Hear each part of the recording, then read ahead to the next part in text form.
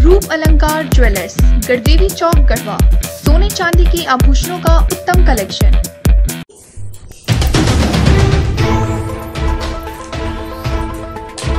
जिला परिषद मध्य क्षेत्र से भावी प्रत्याशी मिथिलेश कुमार सिंह ने आधा दर्जन से अधिक गाँव में पूजा पंडाल में आकर आम जनता से मिले और माँ शारदे का आशीर्वाद लिया। अपने मध्य क्षेत्र के लिए माँ शारदे से अमन चैन शांति कायम रखने के लिए प्रार्थना किया। उन्होंने बताया कि नीति एवं सिद्धांत के कारण क्षेत्र में जनता का पार समर्थन मिल रहा है। हुसैनाबाद मध्य क्षेत्र के शिवपुर, पथरा उपरी कला कोशी, टेटा बेनी कला एकडरी, कचरा बेनी, लंगरकोट भैरवपुर कामगारपुर, बिहारी बिघा, फतामा चक, चनकार, पोल्डी सहित अन्य गाँव दौरा कर लोगों से कहा कि हुसैनाबाद मध्य जिला परिषद की जनता एक युवा व शिक्षित प्रत्याशी को अपना मत देकर जिला में भेजने का काम करेंगे।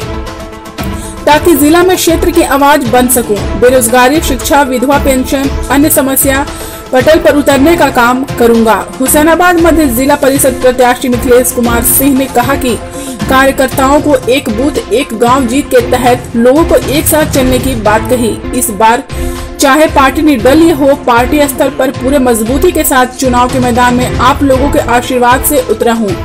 और जनता का अपार समर्थन भी मिल रहा है। मौके पर अजय कुमार सिंह, अवधेश कुमार सिंह, वसीम खान, अभिषेक सिंह, रामचंद्र चौधरी, रामनाथ बैठा, अजीत कुमार, विश्वकर्मा सहित अन्य लोग काफ़ी संख्या में मौजूद थे गढ़वा, पलामू और लातेहार जिला की ताज़ा तरीन खबरों के लिए सब्सक्राइब बटन पर क्लिक करें और बेल आइकन को दबाएँ।